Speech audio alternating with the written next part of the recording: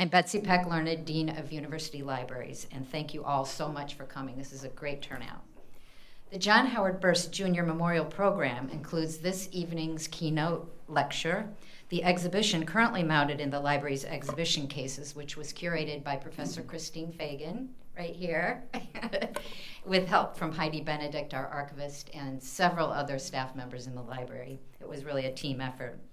Um, it also includes um, a satellite exhibit at the Rogers Free Library in Bristol, um, reading group discussions that took place there, and for the first time this year, a found poetry writing workshop. And Susan Tassant led those discussions and the poetry workshop. Susan, can you raise your hand and stand up a little? There she is.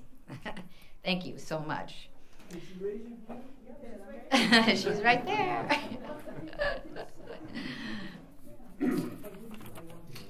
the Birss program celebrates a milestone anniversary of the publication of an important work of literature. This year's selection, The Red Badge of Courage by Stephen Crane, is celebrating its 125th year and was selected by the Birss Committee, a group of Roger Williams faculty, staff, and students. Our Birss program donor, Jennifer Murphy, over here, um, and a representative from Rogers Free Library in Bristol, Susan Tassant, who I introduced. Um, this committee is chaired by Professor Adam Braver, a Roger Williams University professor of creative writing and also our library program director. You will meet him in a minute. Um, and thank you very much to the Birss Committee. I know that Meg Case is here from that committee, and uh, we, we had a couple meetings, but um, it was a very easy selection this year, and, and um, certainly a consensus by all on the committee. Um, let's see. Tonight we welcome Christopher Benfey, Mellon Professor of English at Mount Holyoke College, um, whom Professor Braver will introduce in a moment. We are hugely grateful to Robert Blaze, an alumnus of Roger Williams University in 1970. Bob, can you stand up so everybody can see you? Okay, raise your hand. Who, with his gift to the university in the year 2000, made these events possible. Unfortunately, oh, I won't say unfortunately, Mr. Blaze can't be here tonight because he's here. We're thrilled that Mr. Blaze is here tonight and honored that his daughter Jennifer has been helping us um, with both the Birss selection and attending all of our events. Mr. Blaze's gift to the university was in honor of his mentor and friend, Professor John Howard Birss Jr. Professor Birss was a scholar of Herman Melville and Walt Whitman and a collector of first editions. This year's selection, the Red Badge of Courage, held a special place in the heart of Professor Birss. Bob Blaze maintains a collection of Professor Birss's research on the novel. Um, and we believe it's a fitting, a fitting selection this year to celebrate 20 years of Birss programming here at Roger Williams with this selection, the Red Badge of Courage. The Blaze Gift supports an exhibition, a library book fund for collecting works related to the exhibit, and a keynote lecture. In partnership with funding from the Honors Program, the donation also allows for a library led archival visit with two students, or we call them Birss Fellows, this year, Jillian Damiani and Emma Phipps. Are you here, Jillian and Emma? Oh, there they are. Thank you. Who visited the Stephen Crane Archive at Columbia University to select items for the exhibition. We believe this is a really great opportunity um, of experiential learning for our students. And if oh, they are here, so I already said that, sorry. For those of you who have not yet seen the exhibition, please visit the exhibit cases behind the library and Mediatek desks out front. Um, it will be up until the end of March. I'd also like to point out that library staff have prepared a research guide on the book and a virtual exhibit with images of artifacts from the exhibition available on the library's website uh, on the Birss uh, web, web page. And um, there's a link from the library homepage to the Birss page, or you can simply Google Roger Williams Birss and it will come up. And now I'd like to invite Adam to introduce Professor Benfey. Thank you.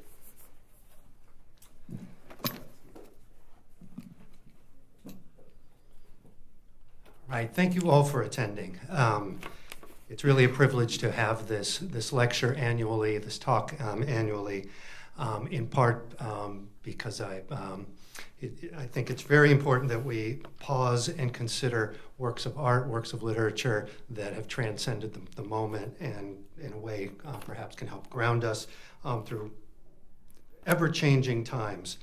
Um, and yes, we are excited that this is the 20th um, um, year of the Birss programming, but because we cannot sit still, we already are pleased to announce next year's book. And next year's book will be the 50th anniversary of Ernest J. Gaines' novel, The Autobiography of Miss Jane Pittman.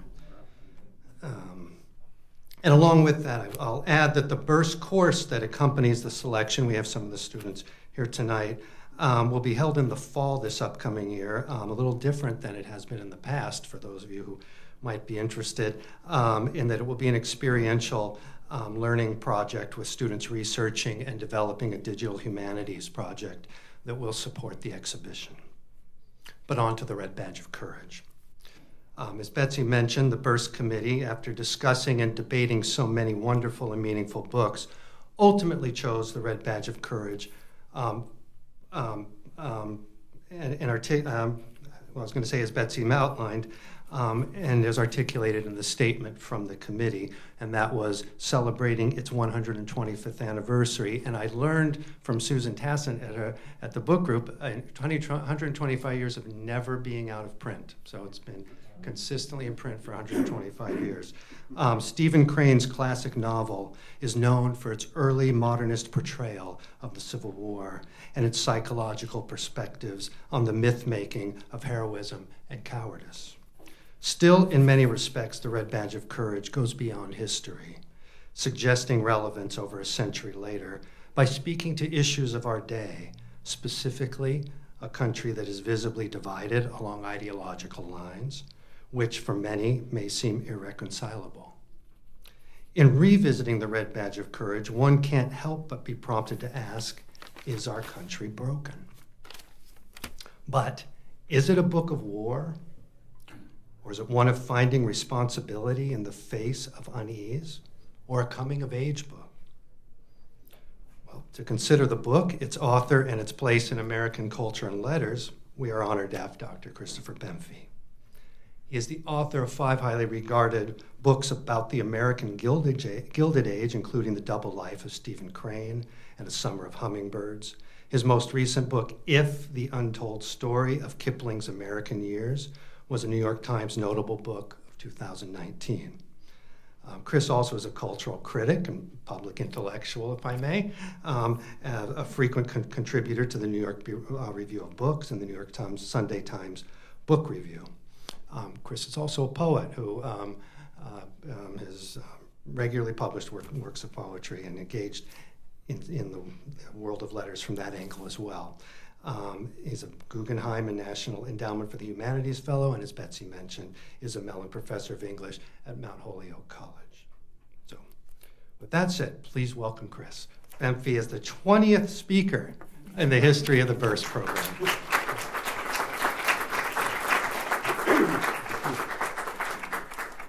Thank you, Betsy, and thank you, Adam, and thank you, Robert Blaze, who I just had the pleasure to talk with a little bit about Melville illustrations, a topic dear to both of our hearts. Um, and thank you, Christine, for showing me around the lovely um, exhibition out there. Um, color meant a great deal to Stephen Crane, and I, am very smitten with that red scheme design out there. The artifacts from the Civil War, the artifacts from Stephen Crane, and uh, the comic book version of the Red Badge of Courage. Um, as Adam mentioned, I did I did write a book hundred years ago about Stephen Crane, um, which had a kind of a perverse um, argument to it. I called it the double life of Stephen Crane, and the argument was that Crane lived his life backwards. That he would first write an experience, and then he would try obsessively to experience it in real life. He first with no experience of war, wrote a book about war, and then he became a really significant um, war correspondent. He first uh, wrote a hallucinatory story about a shipwreck, and then he managed to get himself into a shipwreck, and he wrote the great story, The Open Boat. He uh, first wrote a book about a sex worker, and then he set up housekeeping with the madam of a house of prostitution in, Jacksonville. Um, it's always interesting to go back to a book you loved when you were a different person. Um, I was in my early 30s when I first became obsessed with Stephen Crane, and I'm in my I was going to say my early 60s, but that's not quite true. I'm in my mid 60s now, and um, and thanks to Adam and Betsy and Bob and the rest of you, um, I've been invited to go back into this book. And um, I teach at a women's college. This um, Red Badge of Courage is not an obvious book to teach at a women's college. There are remarkably uh, few women characters in the book. Um, and it often is thought of as a kind of a guy book, um, uh, like many of our American classics. In going back through the book, though, I found something else was grabbing my attention, and that was the um, pervasive theme of poverty, both in Crane's life um, and oddly in The Red Badge of Courage. So, my, my working title for this talk is um, Stephen Crane's War on Poverty. Um, so during the spring of 1893, Stephen Crane began writing a novel tentatively titled Private Fleming His Various Battles, about an ordinary soldier's experiences during the American Civil War. The nature of courage was not front and center in Stephen Crane's mind at the time. Crane was more concerned with getting enough to eat a 21 year old college dropout. Crane had been living a hand to mouth existence as a freelance writer for New York newspapers, mainly covering the sufferings of the urban poor and homeless, which he knew at first hand. The gap between haves and have nots, already conspicuous during the Gilded Age, widened after the financial panic of 1893 when the population of homeless and unemployed people mushroomed in American cities, and especially in New York. Crane had completed a previous novel begun during his brief stint at Syracuse University about a jilted Irish girl's descent into poverty and prostitution called Maggie, a Girl of the Streets, which he had published with his own money from what was left of his inheritance from his mother.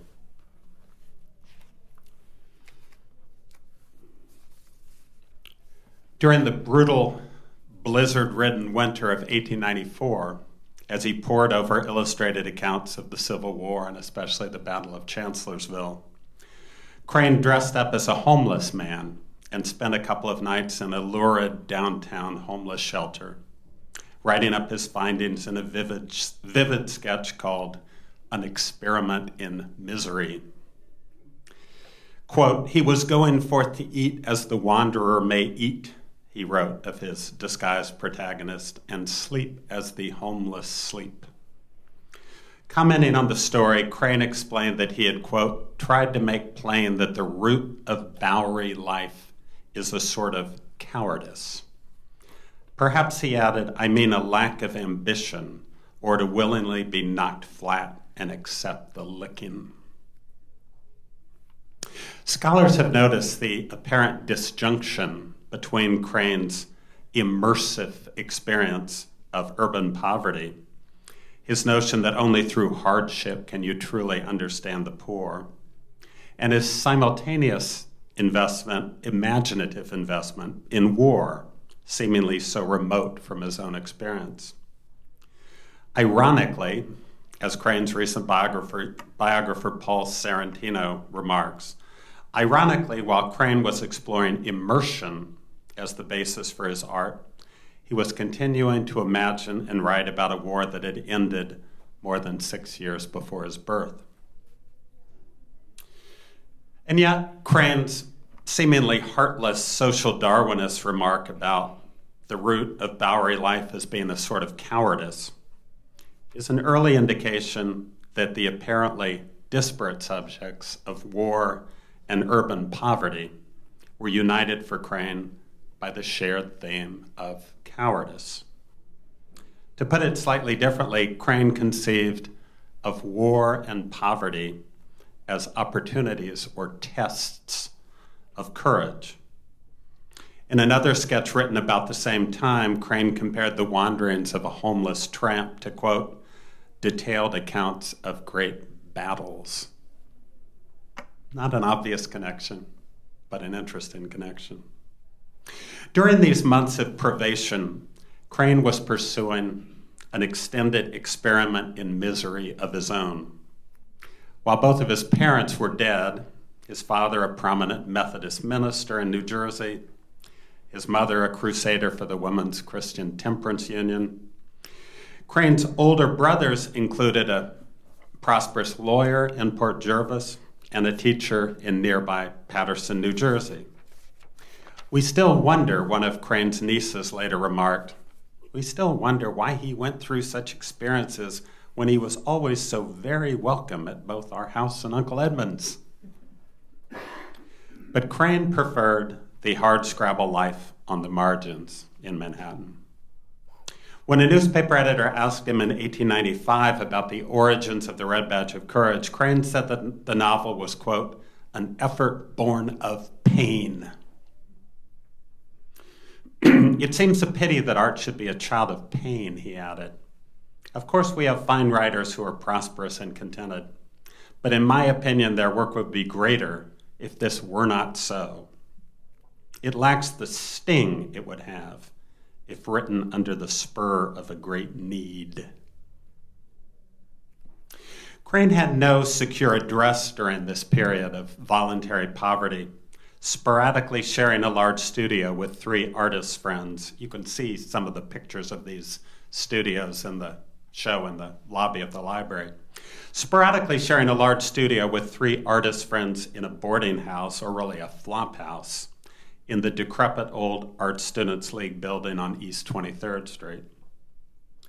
In the topmost and remotest studio, Crane wrote, there is an old beam which bears this line from Emerson in half obliterated chalk marks. Quote, Congratulate yourselves if you have done something strange and extravagant and broken the monotony of a decorous age.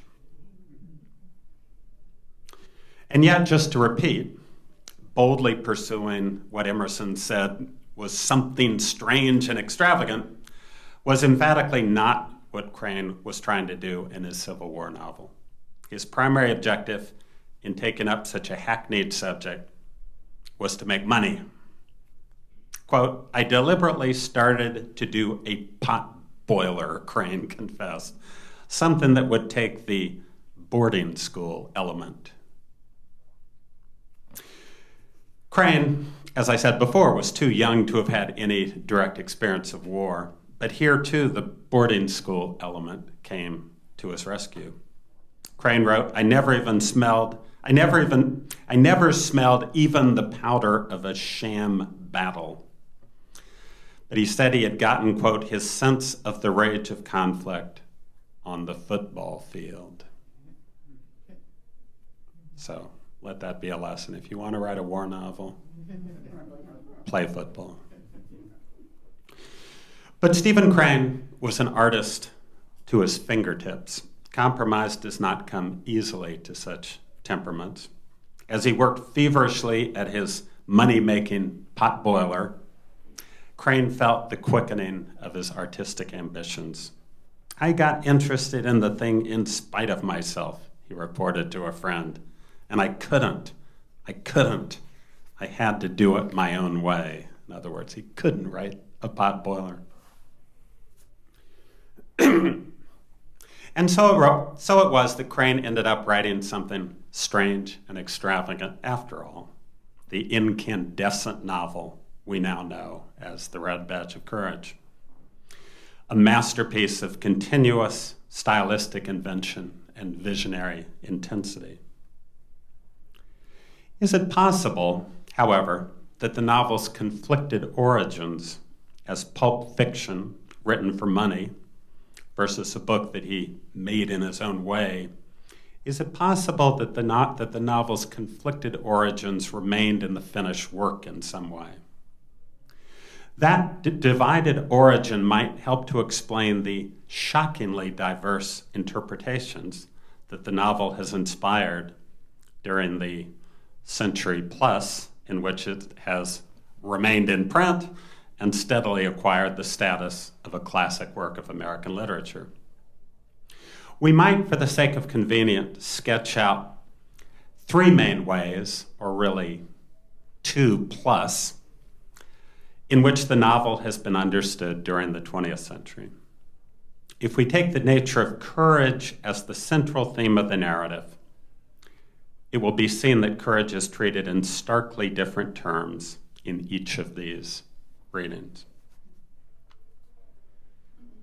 First, the novel maintains its status, we might call this its boarding school status, as a book about an ancient, sorry, a book about an anxious young man's passage from boyhood to manhood after surviving the testing ground of an intense battle. In his first encounter with fighting, so this version of the novel goes, the young man runs abjectly from the fray. Only when he has digested the traumatic experience does he return and demonstrates conspicuous bravery in leading a charge and capturing the enemy's flag. Courage, according to this narrative, is achieved by dint of facing up to danger and recognizing that bravery can win the day. In this version, The Red Badge of Courage is a coming of age novel, a novel about how war turns cowardly boys into courageous men. A second reading of the novel is a more complicated version of the first. In this interpretation, the passage from cowardice to courage is more ambiguous, less clearly drawn. We're forced to recognize that the youth in Crane's account appears to stumble accidentally into courage rather than grasping it intentionally. After running from battle and persuading himself that it was the rational thing to do, he is shocked to learn that his regiment was victorious after all.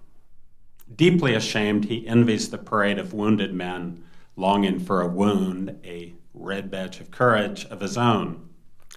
When he tries to exact a description of the battle from a passing veteran, the veteran swings his rifle and hits the youth in the head.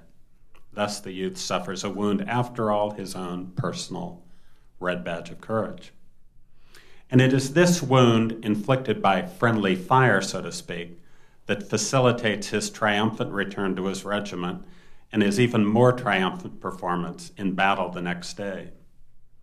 The supreme test is the battle itself.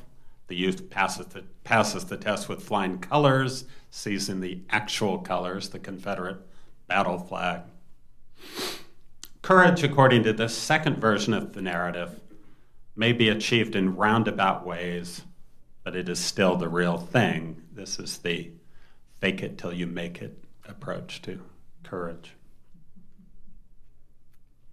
A third reading of the novel casts a colder eye on the youth's performance.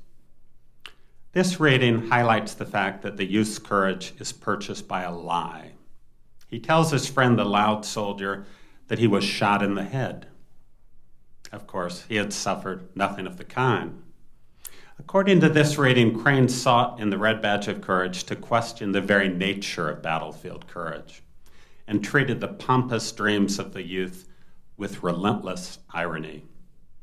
What the youth achieves on his second day of battle is not maturity or a quiet manhood, but rather a momentary stilling of self doubt. Courage, according to this third version of the narrative, is an uneasy blend of shame and mania. Courage is a fraud, an illusion of youth, a swindle. I don't see how we can overemphasize just how extreme the disagreements over the meaning of the novel have been. And this debate about the meaning of the novel goes on to this day. It goes on in classrooms everywhere that the book is read. Imagine two people looking at Van Gogh's Starry Night. What a devastating image of oblivion, one person says. All I can think of is death. What an ecstatic vision of life on earth and in heaven, says another. All I can think of is the glory of existence. I was tempted to talk about Adam's crows over the wheat field, which has similarly diverse interpretations. As critics argued about the Red Badge of Courage over the years and debated Crane's intentions, a fresh piece of evidence was enlisted by the proponents of this third version. The third version, let me remind you, is that Crane viewed courage as a lie. This fresh piece of evidence was the original manuscript of the novel. It turned out on close inspection that certain editorial interventions had been inflicted on Crane's original text, with the result that his irony was apparently deliberately toned down. The originalists argued that Crane had written an out and out anti war novel, a book that critiqued all the motivations for war, along with its supposed benefits heroism, courage, maturity, manhood, and so on. so, this battle between triumphalists and ironists, Red Badge of Courage is heroic coming of age novel, or Red Badge of Courage is deeply ironic uh, deflation of battlefield heroism. It turns out that this argument between triumphalists and ironists had played out already and in an unexpected place and without benefit of the original manuscript of the Red Badge of Courage. In 1950, the great film director John Huston won the reluctant support of the Metro Goldwyn Mayer studio to make a movie of Stephen Crane's classic novel. You can see the uh, original poster for the novel out in the exhibition in the lobby. As Lillian Ross writes in Picture, her marvelous book length account of the making and unmaking of the movie, the MGM executives were convinced that the project would be a commercial disaster. In their view, the movie Huston had in mind, quote, had no standard plot, no romance, no leading female characters, and if Huston had his way, he would also have no stars. To which one could add no African American characters, no mention of the Civil War or its causes, and so on. Huston had bold ideas for telling his war story. First, he insisted on using black and white film, hoping to match some of the high contrast and visual intensity of Mathew Brady's famous photographs of the war, photographs that happened to have been a major source for Stephen Crane as well. Second, Huston wanted Audie Murphy, the most decorated American soldier in World War II, but a Hollywood unknown, to play the starring role of the youth, and not, as the studio heads proposed, a recognizable heartthrob like Montgomery Clift. Most importantly, though, was Huston's overall interpretation of Crane's novel. As Ross put it, Huston, like Stephen Crane, wanted to show something of the emotions of men in war, and the ironically thin line between cowardice and heroism. From the start, Huston, John Huston, do we know something about John Huston, the treasure of the Sierra Madre, um, the African Queen, uh, the creepy, creepy father in uh, Chinatown? That's, uh, that's John Huston. Um, Anjelica Huston's dad. Um, from the start, Huston was determined to eliminate any hint of traditional heroism or tragic grandeur from his account of the youth's initiation under fire. He carefully explained to his star, Audie Murphy, that there was a humorous aspect to the youth's panic.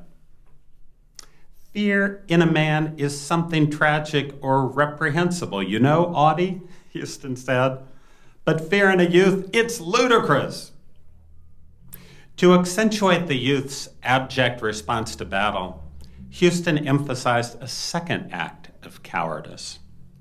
The youth abandons the severely wounded and disoriented tattered soldier to his death. For Huston, this scene was the high point of the film. When Huston met with the composer who would provide a musical soundtrack for the film, he sought to reinforce this anti heroic interpretation.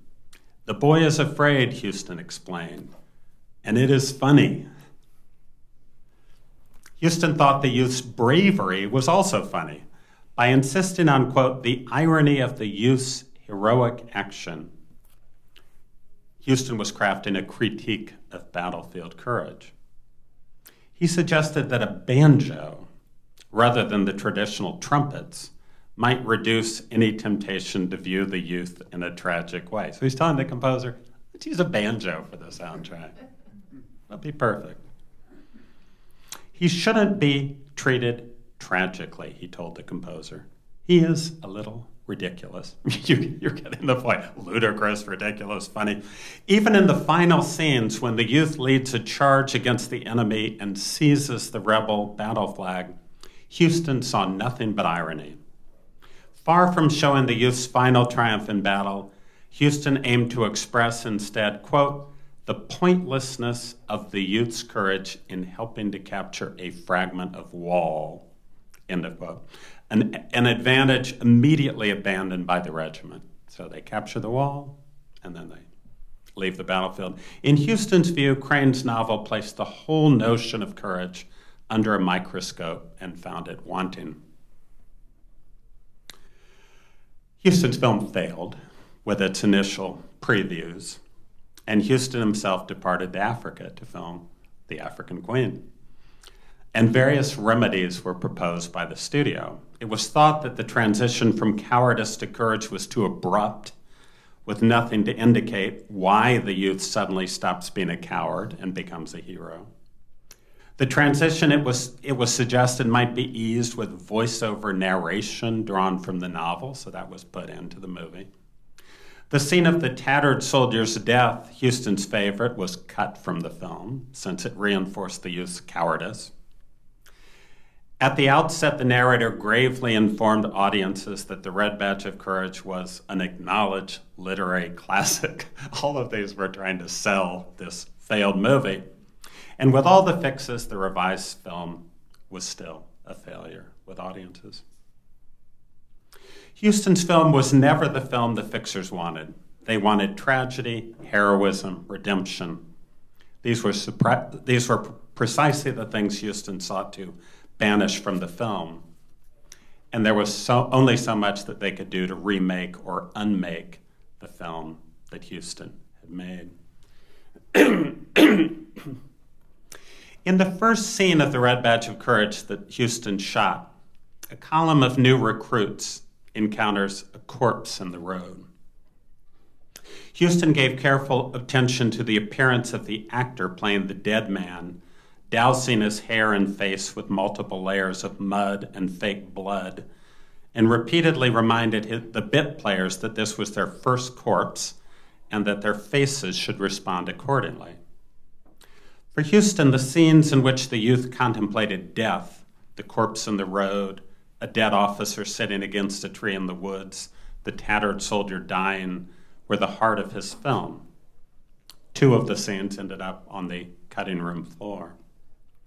For Huston, the living contemplating the dead is the primal event of the film, towing the ironic line between cowardice and courage.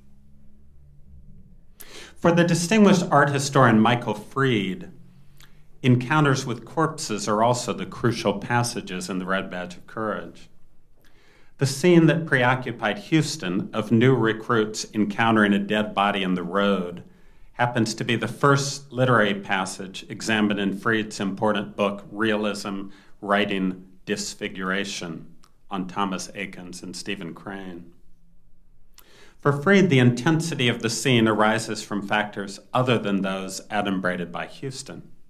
For Fried, the scene exist, exhibits what he calls the conflicted nature of Crane's realism. Now, here's the relevant passage from the Red Badge.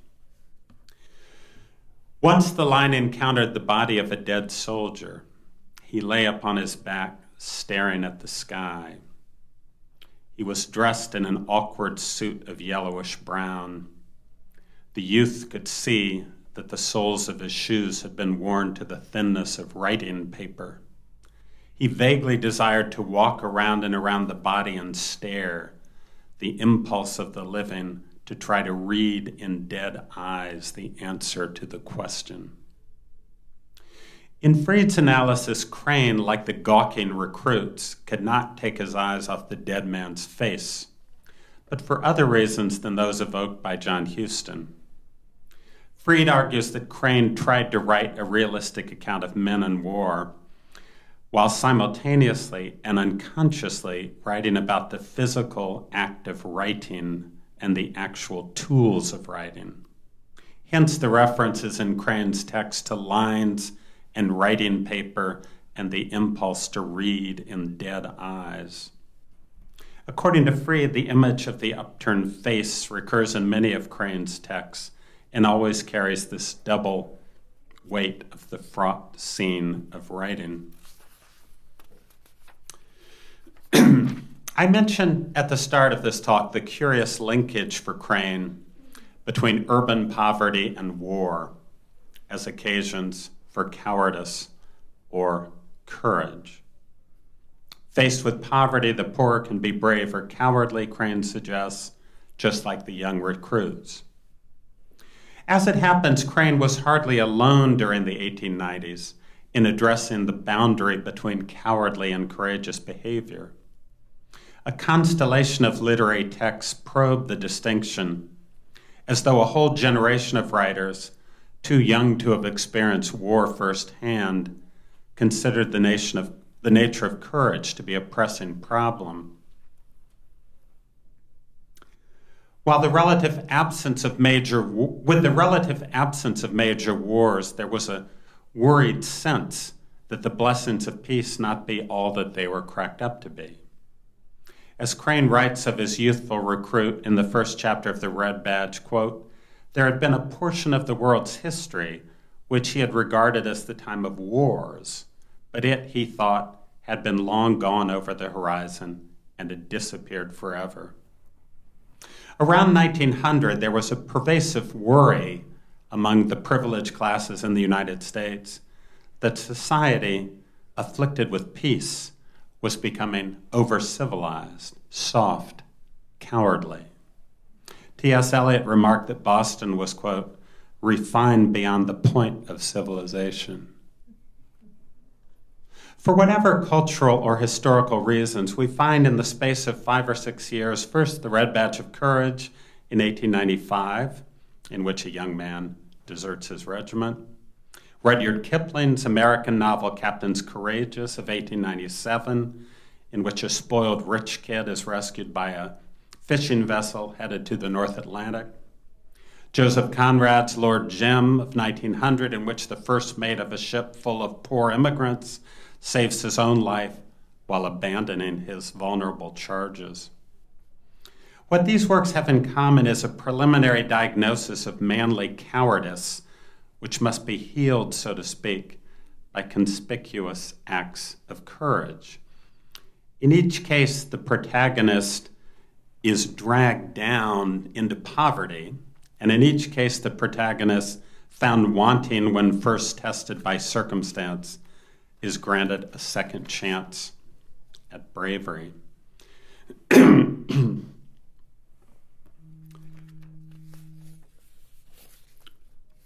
The writers of these works were united by ties of friendship and admiration. Crane was deeply indebted to Kipling's works. The two men met in New York in 1896, and it was from Kipling that Crane had derived his deep seated conviction that art and suffering were allied. There are few things more edifying unto art, says the artist hero of Kipling's The Light That Failed, than the actual belly pinch of hunger. Conrad and Crane. Conrad gets pride of place in the exhibition here. Conrad and Crane forged a close friendship in England. It has been suggested that not only did Crane borrow in Lord Jim a major theme from the Red Badge of Courage, that of a coward given a second chance, but that he might even have modeled Jim on Stephen Crane himself. Now I'm coming around to my, uh, my con- conclusion, so Hold your breath. Stephen Crane's two great subjects, as I've said multiple times, were urban poverty and war.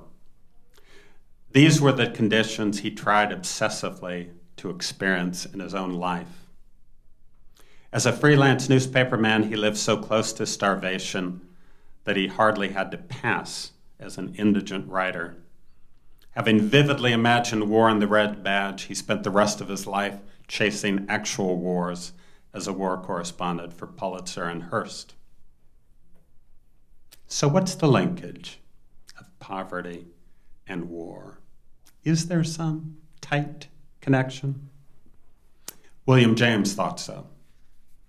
In the lectures that became his 1902 masterpiece, The Varieties of Religious Experience, James conceived of the world as, quote, essentially a theater for heroism.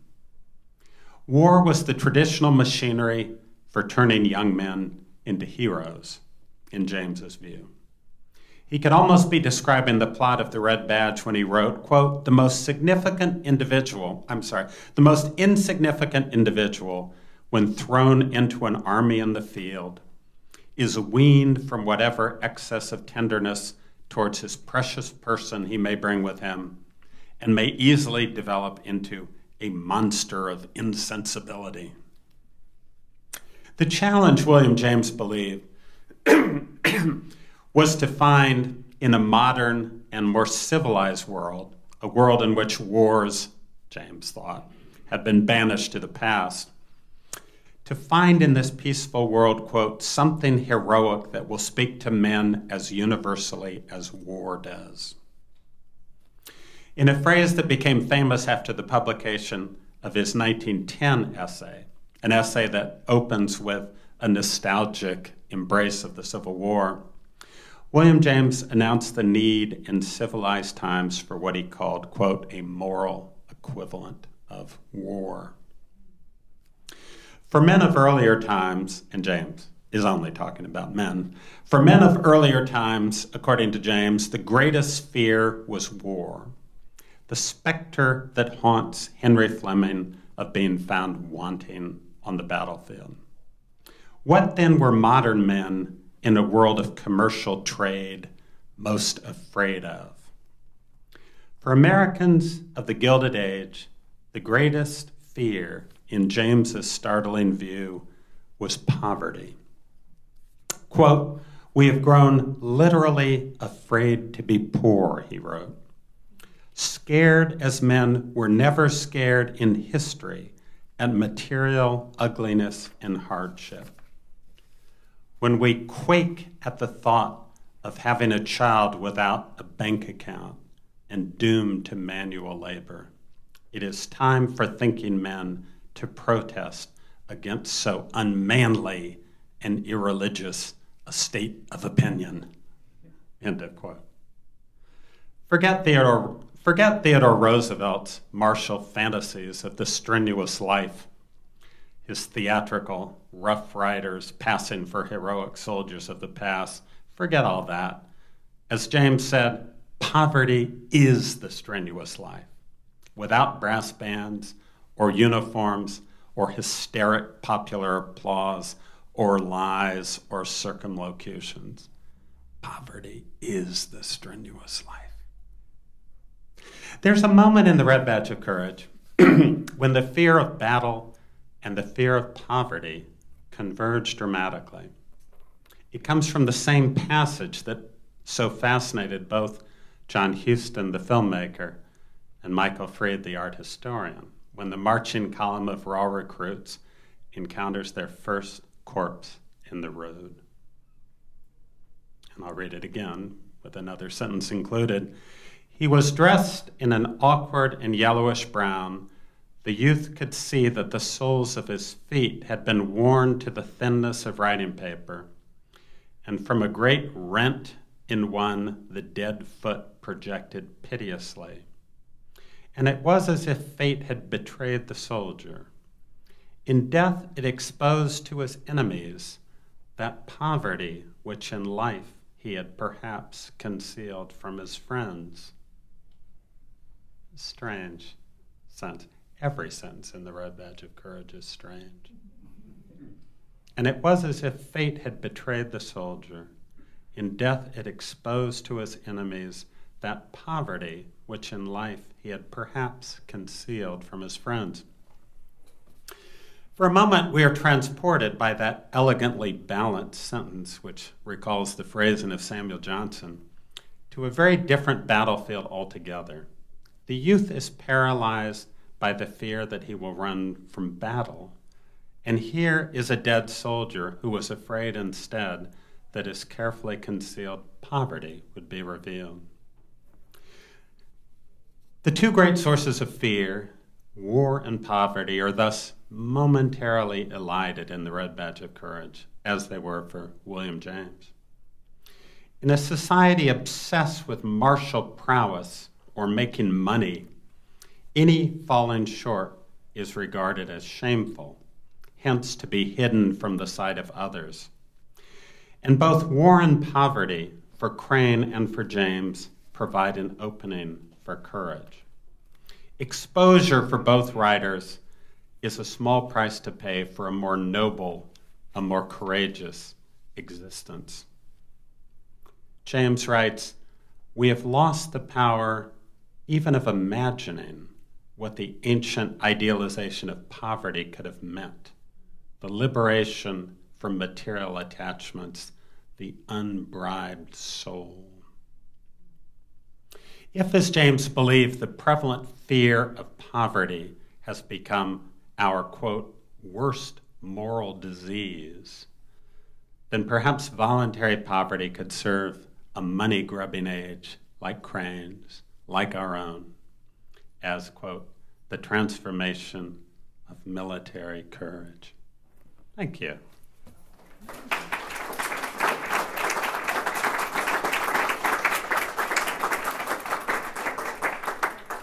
So I'd be happy to field a few questions about war, football, or poverty.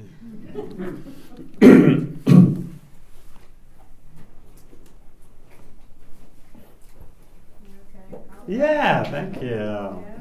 No, I had questions that kept evolving because you kept taking us into different places. And so I'm going to come back to my initial question with the spin from the end, which is um, early in the book he mentions Homer. And, yes. And the Homeric. Yeah. Says that's all over. Right. That's right. So where does that fit in with? Is that a nostalgic or? Absolutely. Yes. Sort of sacred and safe from all of this. Exactly. Yep. So, so early in the early in the novel, in the first chapter, um, as the youth is headed, it, as they're waiting, waiting, waiting, waiting to see any real action, um, the youth reflects that the days of Homeric battle are over and. Um, I don't remember Crane's exact wording, but um, you know, basically that all we care about is trade and commerce. War has been banished, um, and of course he's completely ambivalent because he's both enraptured at the idea that he'll be found to have the right mettle and terrified that he won't. But yes, um, and I'm suggesting that both Crane and William James are writing writing from the perspective that maybe wars are coming to an end. That's the fear suggested in the red badge, and um, the fear that William James has that we're all going to become softies, and yeah. And there's a connection between Crane and William James. William James's well-known brother Henry was a good friend of Stephen Crane. Yeah.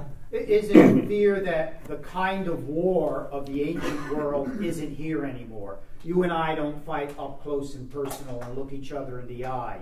I kill you from a hundred yards away, without because of the weaponry, yeah. the rifle in the yeah. Civil War, and even better weapons in subsequent wars. Yep. Cannons that can kill from hundreds and hundreds of yards. Does that make war and heroism antithetical? Yeah, that's a great question. There's a wonderful, well, there are two wonderful images out in the um, exhibition from uh, Winslow Homer. Winslow Homer um, before doing nostalgic scenes of New England, was a great battlefield um, artist. Um, and there's one of the, the, the, sniper, which, which suggests the incredible weaponry of the Civil War, and at the same time, the fact that soldiers had no armor. Um, they were wearing woolen coats.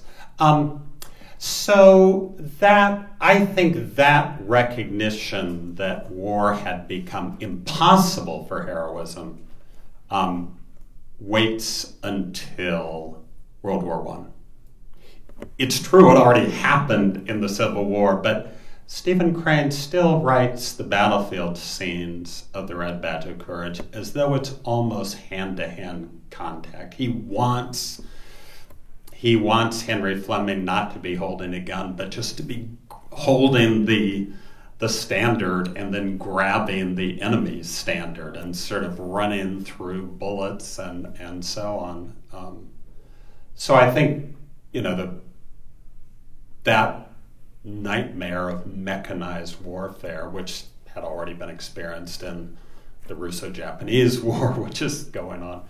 Um, in, in Crane's lifetime. Um, I don't think that's that's his fear about war. He thinks it's it's disappearing. Ironic under the circumstances, since just after the novel was published, we had about hundred years of continuous war, and we're still having it. So the link that you made between poverty and war, and how there's kind of like this dignity, almost this like nobility in like poverty and struggle that is associated mm-hmm. with war. There's kind of like that noble savage idea. And why do you think that that's um, why do you think that's gone away? Why don't you think that exists now? Do you think it's just because of like I, So I don't think it's entirely gone away. So, um, so William James' essay, "The Moral Equivalent of War," was incredibly um, influential in American society. And um, the idea of some kind of national service as some kind of voluntary poverty, at least for a couple of years, like the couple of years one might be expected to serve in the armed forces if one were drafted. That's um, had its life in the Peace Corps. It's called the Peace Corps with exactly that idea of we can get the experience of the Marine Corps in times of peace in Teach for America and a lot of things that college students, I think, look at as um, as something viable and and worth doing before a career in finance or consulting. college teaching. I think it's still very much with us. Uh, Pete Buttigieg, very interesting case of a military man making the case for peaceful national service. We still we still live with these. I mean, Adam was talking about the weird connections between the first Gilded Age and the second one, which is what we're living through now for our sins.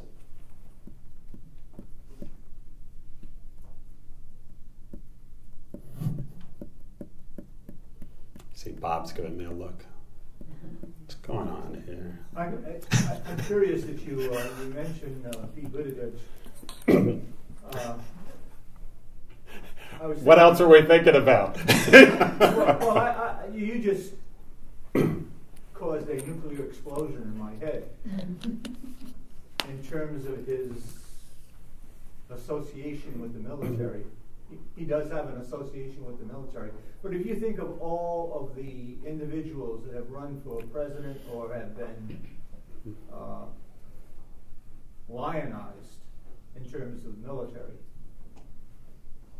they were true military. I don't know if Buttigieg. No, he wasn't, and and he, but he talked about oh, he hold it, being trained with the AK for AK. what do we, what do we use? That, that, was that was his association that no That's one right. else could talk about. Correct. Uh, no, I, I, think he drove a vehicle and did some. No, I think I think that was a great example. I'm not criticizing it. I think that was a great example I, I, I, I think. Uh, I'm from Indiana, so uh, as as as is my friend uh, Betsy, we Hoosiers, you know, we're not going to totally dump these guys. On. She's even from South Bend, for God's sake. Yeah. well, then you were talking about war and football. South Bend is war and football. yeah, I play basketball though. from Indiana. yeah, it's curious. The the movie was just on recently uh, on TCM, the Turner Classic Movie. Uh, and I mean, it's interesting. That, you know, Huston. You know, one of the, Huston also did Moby Dick. So, right. Uh, I always found it interesting that the hero, of which he is a hero in the movie, was also the most decorated human being in World War II. Correct. Kind of ironic. Yep. That he plays just the opposite. Yeah, that Huston is saying, it's ludicrous when somebody like you is brave. Well, well, you yeah. used the word, I think. You, I think you did use the word ludicrous. No, he, yeah, Huston does. And I think the individual that was that, that uh, introduced the movie, I don't think it was Mankiewicz. I, I, I can't remember. I, that's part of my problem today is not being able to remember. Uh, that you would use this individual, Audie Murphy, uh, as this individual, but he was trying to become an actor, so. Yeah. Uh, yeah. I think you nailed it. Thanks. I want to hear from more students. What do you think? Did, did you all read this book? I think the book is so strange, you know? It's not, we try to turn it into the book that our teachers seem to have thought it was in high school. And then you read it and you think it's like this hallucinatory kind of crazy book. yeah. So you've done some research on this, yeah. Uh, you you kind of talked about like different um, like different editions of the book having like different um, like interpretations, but you didn't touch on the comic book. Like what? what yeah, see, I'm not a scholar of the comic book. I'm sorry. but you are. So touch on it. What did you? um, I just thought it was it was more geared towards. It seemed like they were trying to take the story and like uh, a generation of like adults wanted the story for their kids and they yes. like translated the story yes for someone that their kids could see i think i think even without the comic book yeah. the parents have translated the story into the into the story they want it to be which is mm-hmm. a coming of age yeah. story it's what all all American books are supposed to be. They're supposed to be coming of age stories, and then they write Moby Dick or or The Red Badge of Courage. Yeah, I mean, I, as I said at the beginning of the talk, I think some of the just enough of the pot boiler is still in it that the comic book writers and the high school, the college teachers and the and the parents can still make this book seem something that it's that it's not. And the irony in it is is shifty, is squishy. It's not a stable, oh, I get it. Crane thinks this whole war thing is ridiculous or ludicrous. Um, it's it's shifty. The book is uh, is squirrely, weaselly. It's strange. Um, it plays a lot of different keys. So that I mean, when I talk about those three different views of the novel, those are major critical views of this book. You know, the book is a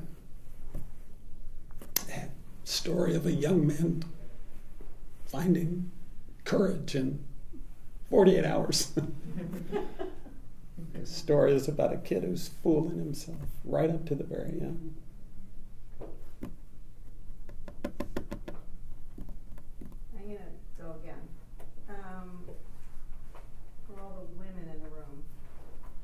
So you use the word wean from James.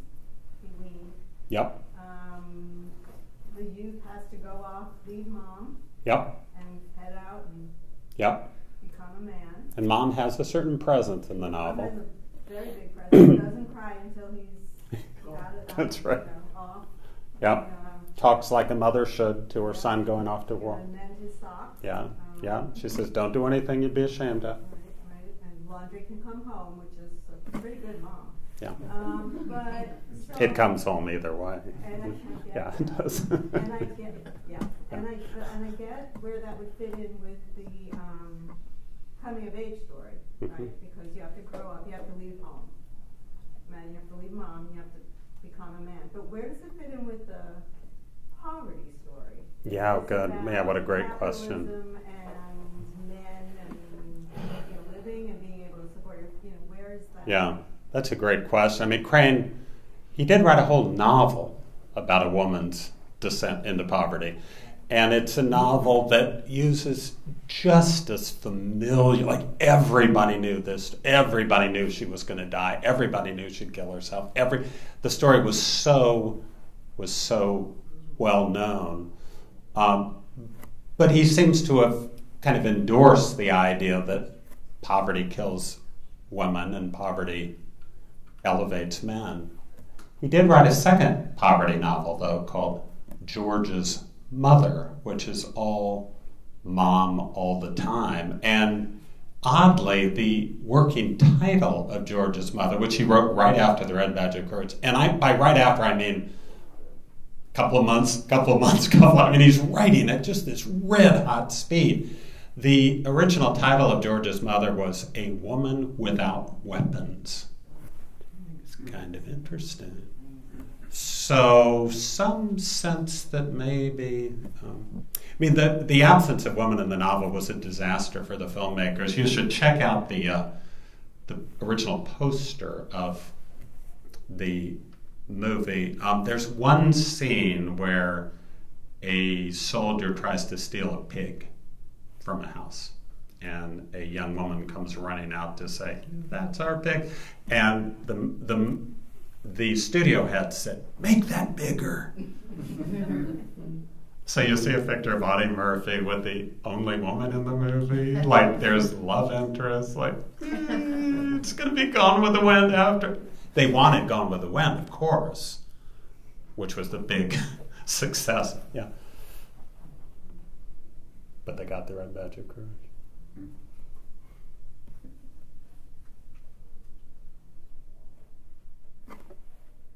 Thank you very much. Great time.